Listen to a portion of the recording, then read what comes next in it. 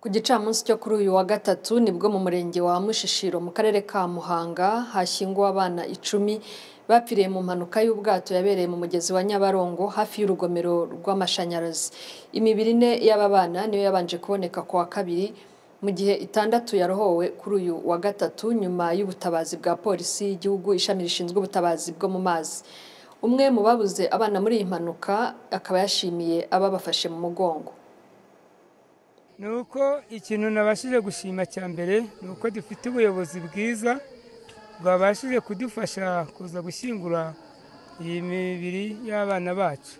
Kuko aba bana bacu bari abana b'abahungu icumi abo bana b'abahungu bari nk'urugero rumwe bari abanyeshuri kandi bari abantu rwose bagendanaga bakundanaga. Ariko kubera kuba bagiye imana yenda nabaha ibiruhuko bidashira. Rwose tumva abantu bari hano babashije kuza kudufata mu mugongo no kudufasha gushyingura aba bantu. Uru rubyiruko rwacu barakoze cyane rwose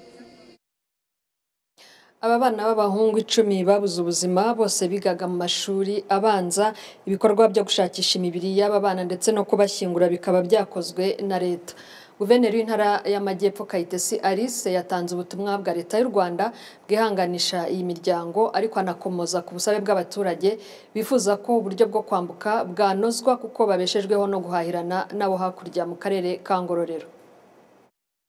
Leta y'u rwanda ibabajwe n'iyi mpanuka twaburiyemo ubuzima bw'abana icumi ndetse iranihanganisha imiryango y'abana baburiye ubuzima muri iriya mpanuka y'ubwato ndetse n'umuryango nyarwanda muri rusange kuko ni igihugu cyose cyahombye. Biragoye guhita twemeza ko umugezi wose wa nyabarongo twashyiraho ibiraro ariko turaza gufatanya n'abaturage gushaka igisubizo ndetse n'aya makoperative afite ibyangombwa kandi akoresha ubwato nibura bwizewe bafite n'ibikoresho by'ubwirinzi bafite n'ubwishingizi kugira ngo turebe ko hariya hantu koko twabibonye natwe ko abaturage bahakeneye imihahirane hagati yabo na ndaro turakoresha rero ubwo buryo bwose dushaka igisubizo mu gihe cya vuba.